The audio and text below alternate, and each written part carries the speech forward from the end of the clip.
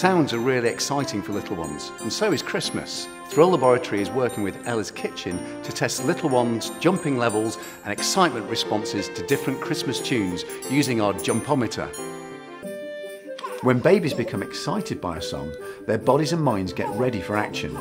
Their hearts beat faster, their eyes open wide, and their breathing quickens.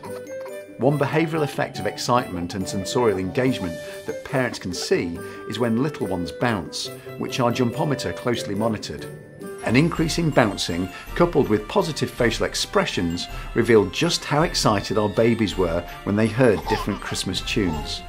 And the Christmas number one, as voted by our little ones, is Jingle Bells.